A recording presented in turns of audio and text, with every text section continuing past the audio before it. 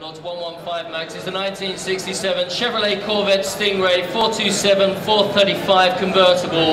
Believed a GM executive brass hat car. This is one seriously well equipped Sting Ray. 435 horsepower, L71, solid lifter 427 motor, 4 speed manual transmission with positraction, and the rare J56 big racing spec brakes, factory hardtop, and loud side pipes.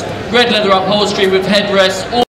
Accessories, its matching numbers, and the documentation includes the tank sticker, Protecto-Plate, and owner's manual. And unsurprisingly, this car has been awarded NCRS Top Flight. So look no further for the perfect Sting Ray, and it will be here in a moment. Ladies and gentlemen, uh, here to be sold, uh, offered uh, without reserve. Uh, where do you want to start me on the perfect Sting Ray? I can hear it purring in the background. What should we say? Roaring, not purring, roaring. You're absolutely right. 16 start, 60, 60. Opening bid of 60,000.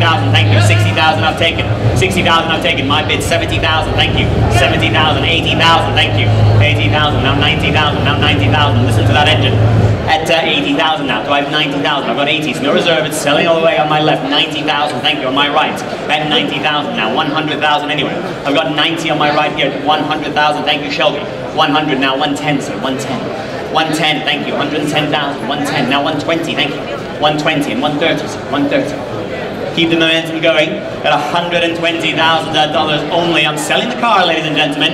Make no mistake now. At $120,000 then. I'm selling to Shelby's bidder at just 125, thank you, 125, right in front of me at 125,000. Do I have 130 now? 125, do I have 130? at 125,000. You bid it, my bid here, at 125,000, 130, thank you, 130, and five again. Five again, 135, thank you, back in with me, at 135,000. Do I have 140,000 anyway?